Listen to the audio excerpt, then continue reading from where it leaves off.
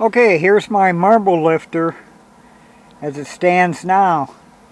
It uh, it works okay.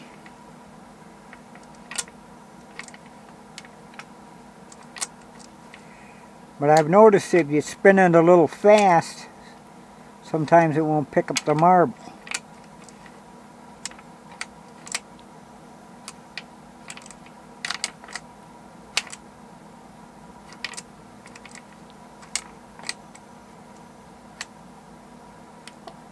Or it might possibly jam.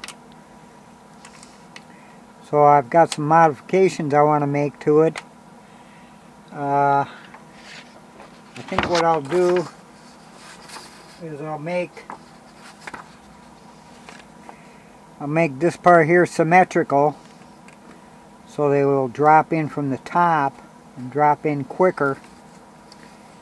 Uh, as shown on the uh, print here. It'll drop in here and go around. Another modification.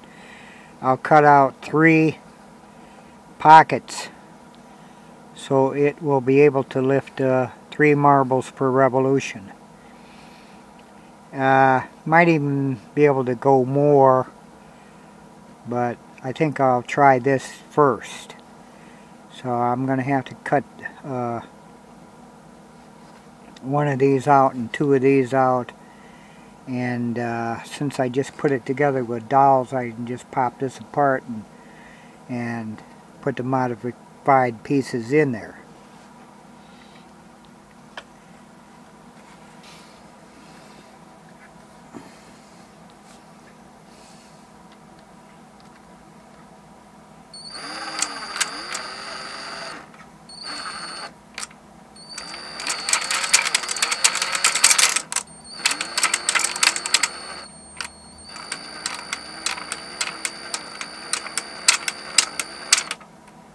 Alright, that seems to work fairly satisfactory if you go slow.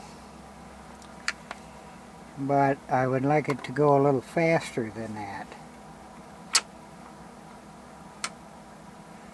So we'll uh, make them drop in from the top. Maybe they'll drop in uh, quicker than the way they uh, slide in here through the side. Okay, now I've got this working. Now as long as you turn it fairly slow, the marbles have enough time to drop in. But if you turn it faster, they may not always drop in, so I'm going to try and put the uh, inlet up here on the top so that they'll drop in.